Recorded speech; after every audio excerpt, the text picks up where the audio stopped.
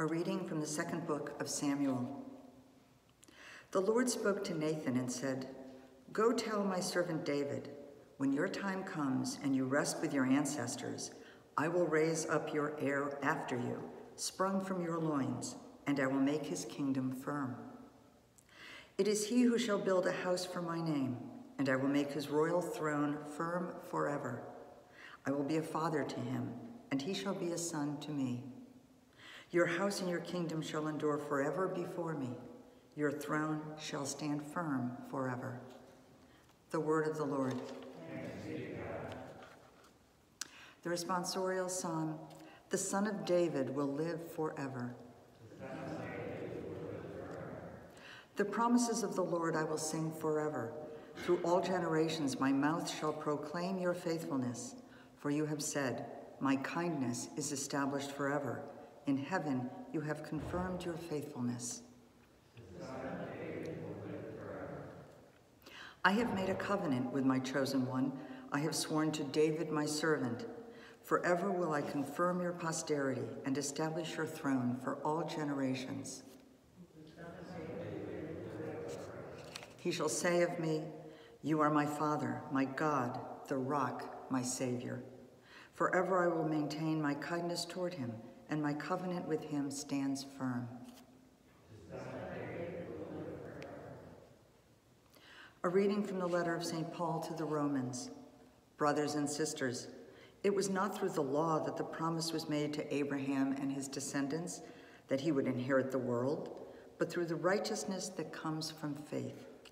For this season, it depends on, for this reason, it depends on faith, so that it may be a gift, and the promise may be guaranteed to all his descendants, not to those who only adhere to the law, but to those who follow the faith of Abraham, who is the father of all of us, as it is written, I have made you father of many nations. He is our father in the sight of God, in whom he believed, who gives life to the dead and calls into being what does not exist. He believed, hoping against hope, that he would become the father of many nations, according to what was said, Thus shall your descendants be. That is why it was credited to him as righteousness. The word of the Lord.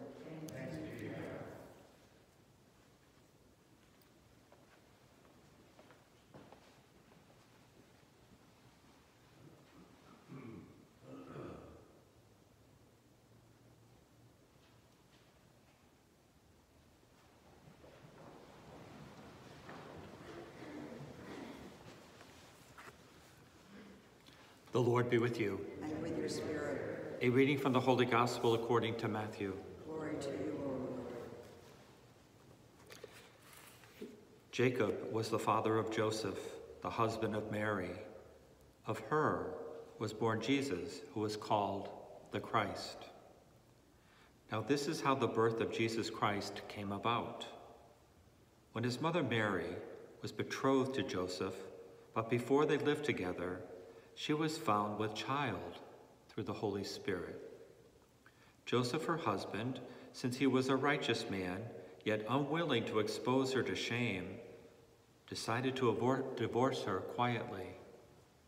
Such was his intention when, behold, the angel of the Lord appeared to him in a dream and said, Joseph, son of David, do not be afraid to take Mary, your wife, into your home for it is through the Holy Spirit that this child has been conceived in her. She will bear a son, and you are to name him Jesus, because he will save his people from their sins. When Joseph awoke, he did as the angel of the Lord had commanded him, and took his wife into his home.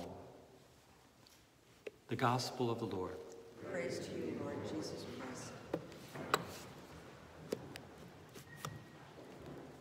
It's really no wonder why God chose Joseph to be the husband of Mary and the foster father of Jesus. We see two of his great attributes in this reading today, this gospel passage. And I think uh, the first one that we would look at is love. Love. The profound love that Joseph had for Mary. She's found with child. They haven't lived together. They're engaged.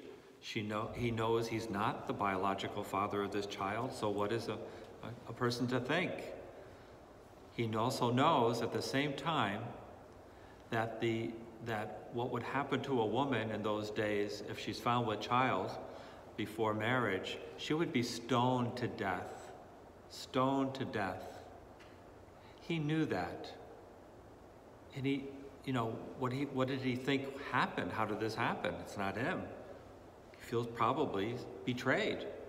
Yet, he loves her so much still that he's just going to be quiet about it. He doesn't want anything to happen to her. He loves her so deeply no matter what. That's incredible love. That's Joseph. Then, of course, the other attribute I would say is faith and prayer. Faith and prayer. So, what happens, as you heard, as you know, an angel comes to him, but it's in a dream. He's sleeping. You know, how many people would believe, first of all, that an angel came to them in a dream? Okay, it's a dream. And what the angel said. You know, it's the Holy Spirit who has come upon Mary, not another man. It's the Holy Spirit. Like, far fetched. I mean, who would believe this? Joseph. Joseph would believe this because he was a man of great faith. He trusted God in everything, and clearly he was a man of prayer. This wasn't just a sudden thing and he, suddenly he believes all this. No, this has been probably a gradual thing in his life through his own prayer life, his righteousness, his faith in God, his trust in God brought him to this point of being able to say, okay, I believe. I believe this. I believe this dream. A man of great faith, a man of devout and great prayer. No wonder why God chose him to be the mother of the blessed mother, uh, the father of the blessed mother, and the foster father of Jesus, to take care of Jesus all of it through his childhood, to teach him the ways of faith, the ways of love, even with Mary. He was the one, and we honor him today.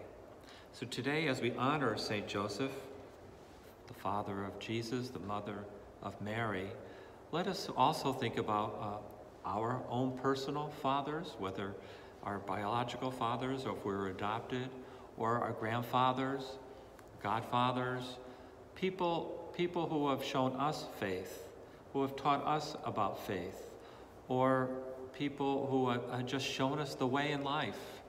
Um, and we found faith one way or another.